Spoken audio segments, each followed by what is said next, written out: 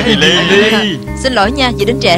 Ờ, dì Ly à mà Con, Chị con, phiền chị đợi lâu xin lỗi nha. Em có mua món chị thích ăn nhất nè. Đừng ăn nhiều quá, nóng lắm đó. Sao tốt với tôi vậy? Chị tốt với tôi 100 phần một Cần gì phải mua quà chứ? Chuyện nhỏ thôi. Lỗ tai heo chị thích ăn nhất Mua ở Macau về đó. Tôi không có nói lỗ tai heo này. Ý tôi nói chuyện gì đề nghị với anh giai đó? À Nếu chị hai đã chịu thêm tên của chị vào Thì em luôn tiện kiếm thêm hai tiệm diện tích rộng cho chị. Sao hả? Chị có thích không? Quang à chúng ta đi. Ê, Nè nè ngồi xuống đi có ngồi xuống chuyện đi. gì? Có chuyện gì? Xuống gì Chuyện gì hả? Dì Ly à Thật tình tôi không phục gì vô cùng đó. Bái phục sát đất luôn. Bởi vì tính toán xong hết Thật tình không sót thứ gì. Dì lựa chọn kỹ lưỡng tính toán tỉ mỉ. Cuối cùng dì cũng kiếm được hai cái cù lẳng cho tôi gặp. Hừ, Chiêu giả nhân từ này quả là chơi khăm quá đó không hiểu. Chị đang nói gì vậy? Tôi cũng có nhiều chuyện không hiểu. Chị xã yêu thương tôi Kiếm hai tiệm thêm tên của tôi vào. Tại sao dì nhất định tìm cách ngăn cản? Nào là tiệm này nào là tiệm nọ Vì nhiều lý do. Đây là chuyện của ba vợ chồng chúng tôi. Nói câu khó nghe một chút Mắc mới gì đến người ngoài như gì chứ. Đừng nóng nảy, đừng nóng nảy mà. Tuy là em không biết chị đang giận chuyện gì Chị lại muốn bày ra trò gì. Nhưng quả thật anh hai rất thê thảm. Anh vì chuyện của hai chúng ta Đêm nào cũng bị mất ngủ. Chạy đôn, chạy đáo, lo lắng đủ điều. Cũng chỉ vì muốn chúng ta hòa giải với nhau. Tại sao chị còn gây ra nhiều sóng gió như vậy chứ? Có phải chị muốn làm cho gia đình này xào xáo Chị mới hả dạ không? Dĩ nhiên tôi biết chồng của tôi tốt, Không cần gì nói. Chị Xảo cũng rất tốt với tôi và thằng Quang Cả gia đình chúng tôi hòa thuận vui vẻ. Tôi nè, Dù làm vợ bé tôi cũng cảm thấy rất là vui vẻ. Chỉ có ai đó căm ghét gia đình chúng tôi hạnh phúc. Một hai chen chân vô lo chuyện của gia đình chúng tôi thôi. Chị càng nói càng quá đáng. Em chen chân vô hồi nào chứ? Em nói chuyện của gia đình chị hồi nào? Thằng Quang của tôi học trường tiểu học nào Có phải là chuyện của vợ chồng tôi không? Bỏ đi bỏ đi Chuyện xưa như trái đất rồi.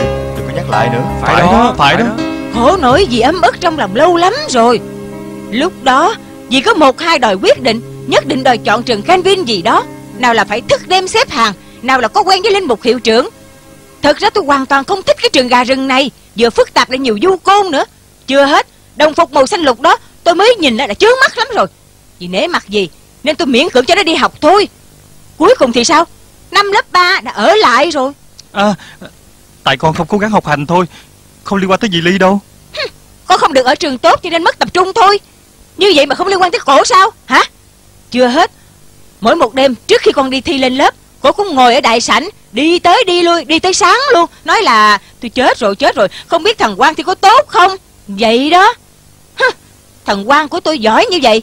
Đúng ra ít nhất cũng quanh năm đạt điểm A. Đó Chính vì bị gì đi tới đi lui Đi tới mất hết trơn luôn. Cuối cùng chỉ có hai môn đạt điểm C thôi. Số còn lại toàn là lãnh trướng dịch Nên phải học lại đó. Ờ, Tại Tại thằng quỷ này nó lười vô Nó lười lắm này nè. lười nè. Ờ, Phải đó má. Tại con lười biếng thôi.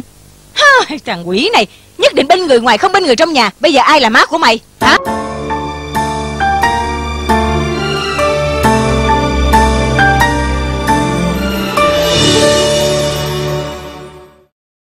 Chị nói đủ chưa?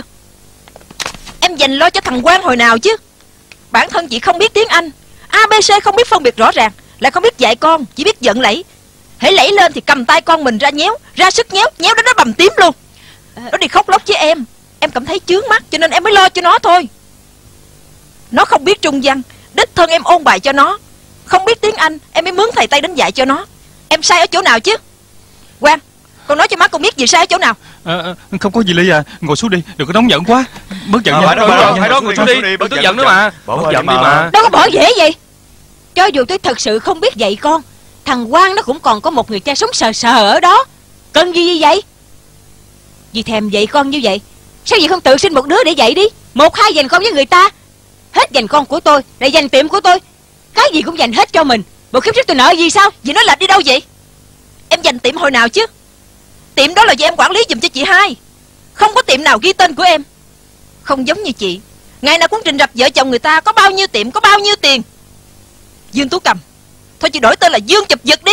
Nè gì Ờ, Bảo lớn Bảo lớn Mau lên mau lên Ba ơi Được. Con sao đi? Bảo lớn Tôi cũng không biết thuộc dạ của gì Bà, bà, Hả? Sao giải quyết đây nữa Bản thân của dì tứ cố vô thân Nên chạy đi kiếm nhà của người ta.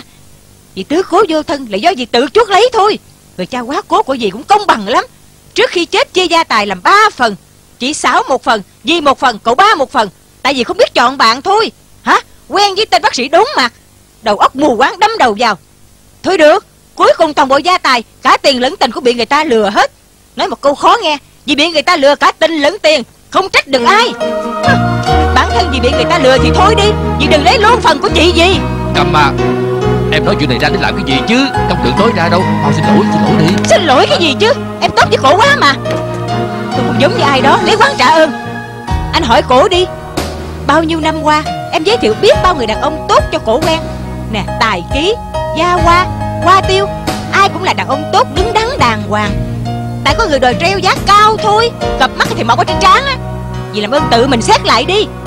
Từ sáng đến tối, mặt mày trù ụ à. Đàn ông nào trông thế gì cũng cắm đầu chạy hết đó. Quang à Hai con nữa Từ nay đừng gọi cổ là dì Ly nữa.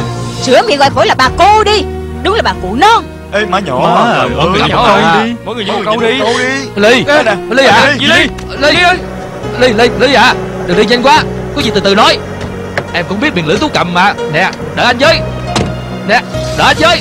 Nè Nè taxi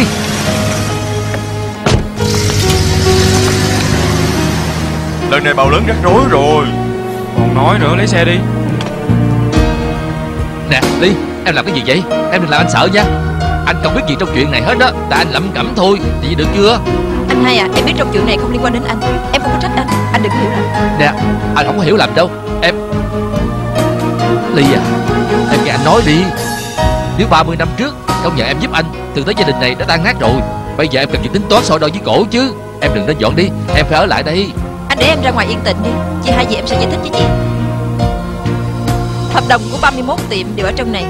Bây giờ em giao lại cho anh. Mất công người ta nói em dành việc để làm nữa. Anh không lấy. Giá nào anh cũng không lấy. Giấy tờ ở trong này rất quan trọng. Bắt đầu từ ngày mai em sẽ không đến tiệm nữa. Anh coi như em nghỉ phép dài hạn. Bây giờ em đi.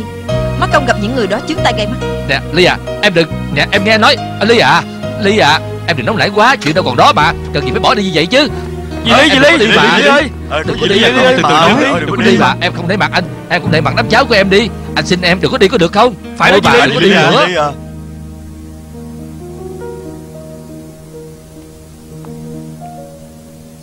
Dì Dì Ly Ly à, dì đừng đi mà. Dì bỏ đi con và bào lớn sẽ rắc rối lắm. Dì Dì Ly, đừng đi Dì mà. Ly à, Dì dì Ly à. à. Dì Ly à như vậy. Trời ơi Sao lại xảy ra chuyện này chứ